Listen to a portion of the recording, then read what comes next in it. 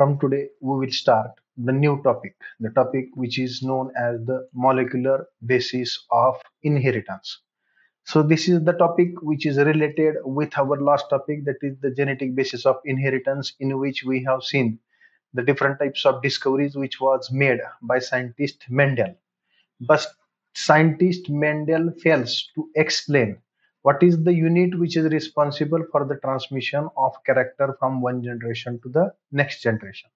In this chapter we have to discuss about what is that specific unit which is responsible for the transmission of character from one generation to the next generation.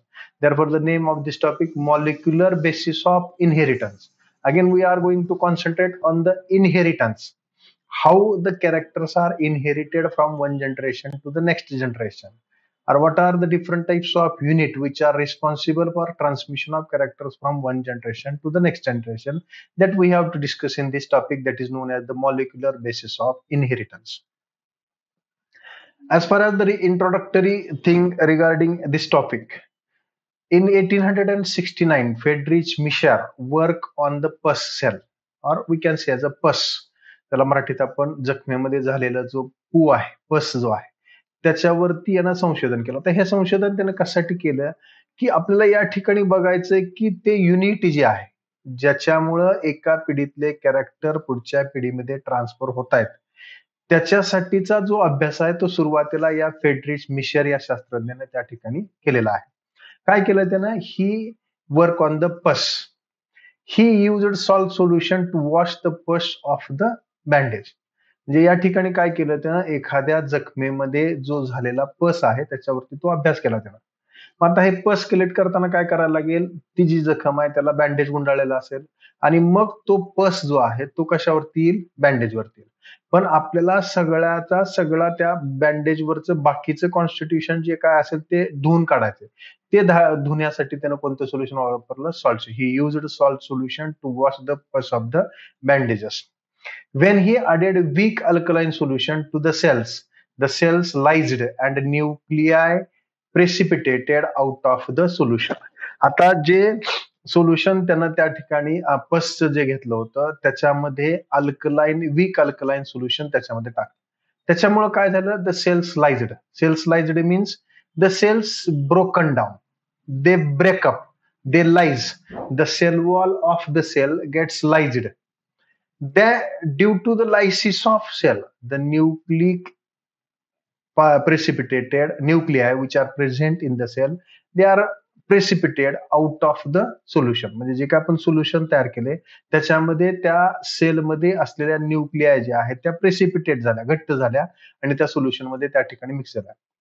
From the cell nuclei he isolated a unique chemical substance to which he called nuclein त्या न्यूक्लियामध्ये असलेलं एक विशिष्ट प्रकारचं chemical substance त्यानं बाजूला काढलं. ते बाजूला काढलेलं सबस्टन्स जे आहे त्याला नाव काय दिलं त्यानं? न्यूक्लिन असं नाव दिलं. आता हे जे न्यूक्लिन आहे याच्यामध्ये chemically nuclein has a high phosphorus content जे न्यूक्लियसमध्ये आढळलेलं केमिकल कंपाऊंड जे आहे त्या केमिकल कंपाऊंडमध्ये त्याला काय दिसलेलं आहे? तर त्याच्यामध्ये जास्तीत जास्त काय? फॉस्फरस कंटेंट आहे. आणि ते जे कंटेंट आहे as it shows acidic properties it was named as a nucleic acid ते जे कंटेंट आहे त्याच्यामध्ये विशिष्ट प्रकारचं ऍसिडिक नेचर असल्यामुळं त्या न्यूक्लिनला नंतर नाव काय दिलं गेलं? न्यूक्लिक ऍसिड ही जी आहे ती सुरुवातीची आपण असं म्हणू शकतो की संशोधन किंवा डिस्कवरी आहे. की ज्याच्या आधारावरती त्या ठिकाणी सेलमध्ये कोणती तरी एखादी गोष्ट आढळली की ज्या गोष्टीमुळं आपण असं म्हणू शकतो की काहीतरी त्याच्या एखादा घटक आहे. तो घटक जो आहे त्या घटकाला फ्रेडरिक मिशर जे आहे यानं नाव काय दिलं? न्यूक्लियर असं आता याच्या पुढं थोडस जाऊन आपण. हे झालं संशोधन अठराशे एकोणसत्तर मधलं. परंतु आपल्याला या चॅप्टरमध्ये मेन गोष्ट काय हुडकून काढायची? The inheritance of the character त्याच्यासाठी रिस्पॉन्सिबल असलेला घटक युनिट कोणता आहे ते त्या ठिकाणी हुडकाय according to number of scientist after number of discoveries number of experiments carried out on this inheritance pattern scientist think that or confirm that the genetic material is DNA. by the early 1900s geneticists knew that the genes control the inheritance of the triads that genes are located on the chromosomes are mainly composed of dna and proteins. आता या ठिकाणी हळूहळू संशोधन होत गेलं. नवीन नवीन technology येत गेली. नवीन technology नंतर नंतर ना साधारणतः एकोणीसशेच्या काळामध्ये जेवढे शास्त्रज्ञ जेनेटिक्स वरती रिसर्च करत होते ज्यांना जेनेटिस्ट आपण म्हणणार आहे ते जे आहे जो जीन कंट्रोल करते कशाचं? इनहेरिटन्स ऑफ ट्रायल एखादी गोष्ट एका पिढीपासून दुसऱ्या पिढीकडे इनहेरिट करण्यासाठीचा जो घटक आहे तो कशा त्याला काय म्हटले त्यांनी? जीन्स आणि ही जीन्स कशावरती आहेत? क्रोमोसोम्स आणि या क्रोमोसोम्स वरती मेन जे कॉम्पोनंट्स आहेत ते काय आहेत? डीएनए आणि प्रोटीन्स आता इथे एक प्रश्न पडतो. आपण इथं असं म्हणलं the genes are located on the chromosomes and chromosomes are mainly composed of DNA and protein now it is the question that is it the DNA or the protein as a inheritance or inheriting unit बरोबर आहे? आता इथं दोन घटक आहेत. एक आहे DNA दुसरा आहे प्रोटीन. मग आता ह्या दोघांपैकी कोणता घटक आहे जो कॅरेक्टर किंवा ट्रायट जे म्हणतो आपण ट्रान्सफर करण्यासाठी रिस्पॉन्सिबल आहे? Initially most of genesis thought that protein are large complex molecule and store information needed to govern cell metabolism सुरुवातीला जे शास्त्रज्ञांनी याच्यावरती अभ्यास केला त्यावेळेस त्यांना असं खात्री झाली की प्रोटीन कंपेअर टू डीएनए थोडासा मोठा आहे. सुरुवातीचं संशोधन जे आहे एकोणीसशेच्या अगोदरचं जे काही संशोधन आहे त्याच्यामध्ये असं लक्षात आलं की प्रोटीन हा मोठा आहे. दुसरी गोष्ट कॉम्प्लेक्स आहे. आणि त्याच्यामध्ये इन्फॉर्मेशन स्टोअर केलं जातं. कशासाठी? To govern the cell metabolism प्रत्येक पेशीचं जे काही मेटाबॉलिझम आहे ते गव्हर्न करण्यासाठी कोण आहे? प्रोटीन आहे. On the other hand DNA is a small simple molecule इथं आपण काय म्हणलं? डीएनए आणि प्रोटीन दोन घटक आहेत.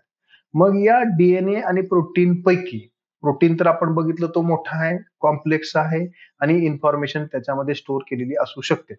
मग आता दुसरा घटक राहिला DNA compare to the protein the DNA is small and simple molecule this particular conformation or conclusion is before nineteen hundred एकोणीसशेच्या अगोदरचं हे सगळं संशोधन आहे. आता या ठिकाणी काय म्हणले variations in DNA are different than the variations in shape electrical charge and function shown by proteins. So it is not surprising that most researchers initially favored proteins as a genetic material. सुरुवातीला शास्त्रज्ञ जे काही जास्त या genetics वरती research करणारे शास्त्रज्ञ होते त्यांच्या म्हणण्यानुसार प्रोटीनच असं घटक आहे की ज्याच्यामुळं किंवा प्रोटीन हेच घटक आहे की ज्याला आपण जेनेटिक मटेरियल म्हणू शकतो. एका पिढीपासून दुसऱ्या पिढीकडे कॅरेक्टर ट्रान्सफर करण्यासाठी. का? तर त्याचं जे काही शेप असेल इलेक्ट्रिकल चार्ज असेल ते डीएनए पेक्षा जास्त प्रमाणात आपण असं म्हणू शकतो की कॉन्सन्ट्रेटेड आहे आणि जास्त आहे त्याच्यामध्ये. त्याच्यामुळे प्रोटीन असं म्हटलं Hence, it was assumed that proteins caused the variations observed within the species.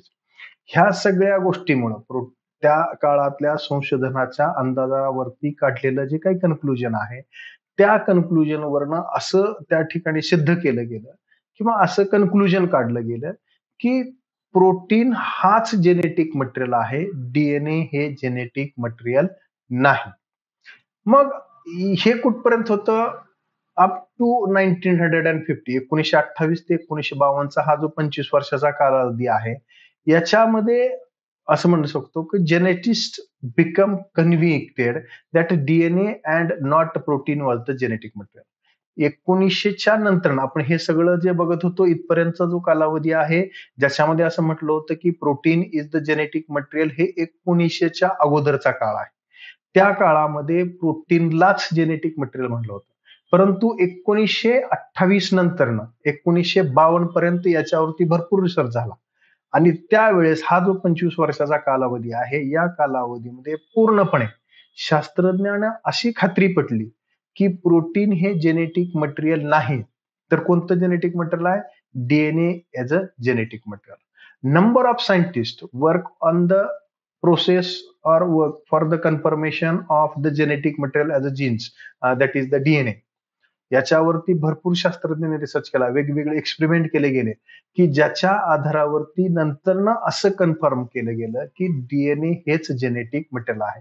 त्याच्यासाठी वेगवेगळे एक्सपेरिमेंट केले गेले. आपल्या पुस्तकामध्ये आपल्या सिलेबसमध्ये फक्त तीनच एक्सपेरिमेंट आहेत जे सिद्ध करू शकतात की DNA is a genetic material following are the three important contribution that help cause this shift of opinion this shift of opinion means shifting of opinion of a protein as a genetic material instead of protein the DNA is the genetic material या तीन experiment तीन वेगवेगळे शास्त्रज्ञ किंवा तीन वेगवेगळ्या शास्त्रज्ञांचा group आहे की त्यांनी याच्यावरती संशोधन केलं आणि संशोधना अंती त्यांनी असं प्रूव्ह केलं की सगळ्या सजीवामध्ये जेनेटिक मटेरियल जे आहे ते डीएनए आहे आणि प्रोटीन नाही so in the next lecture we will discuss about these three different types of experiments carried out for the confirmation of the DNA as a genetic material.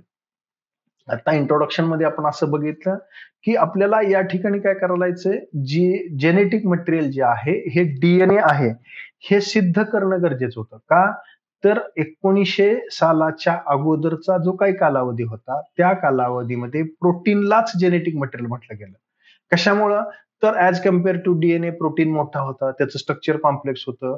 आणि त्याच्यामुळे असं म्हणलं जाऊ शकत होतं की ते जी काही इन्फॉर्मेशन आहे ती इन्फॉर्मेशन कशामध्ये स्टोअर केली जाऊ शकते? प्रोटीन्समध्येच की वेगवेगळ्या सेलचं मेटाबॉलिझम गव्हर्न करणारं जे काही इन्फॉर्मेशन आहे ते प्रोटीनमध्ये आहे असं म्हटलं गेलं. का? तर डीएनए लहान होता प्रोटीन मोठा होता. डीएनए मधला शेप असेल इलेक्ट्रिकल चार्ज असेल प्रोटीन पेक्षा जास्त आहे. ह्या सगळ्या गोष्टीमुळे त्या काळामध्ये एकोणीसशेच्या अगोदरच्या काळामध्ये असं म्हटलं जायचं की सजीवांमधलं जे घटक आहे गुणसूत्रीय घटक जो आहे तो प्रोटीन आहे आणि जीन नाही. परंतु नंतर एकोणीसशे नंतर साधारणतः एकोणीसशे अठ्ठावीस ते एकोणीसशे बावन्न या काळामध्ये याच्यावरती भरपूर रिसर्च झाला. आणि त्या ठिकाणी शास्त्रज्ञांच्या असं लक्षात आलं की सजीवांमधलं जे जेनेटिक मटेरियल आहे ते डीएनए आहे आणि ते प्रोटीन नाही. याच्यासारखी जे कोणकोणते एक्सपेरिमेंट्स आहेत ते आपण पुढच्या तासामध्ये त्या ठिकाणी डिटेलमध्ये बघू. या तासामध्ये एवढं इंट्रोडक्टरी पार्ट आपल्याला मोर दॅन सफिशियंट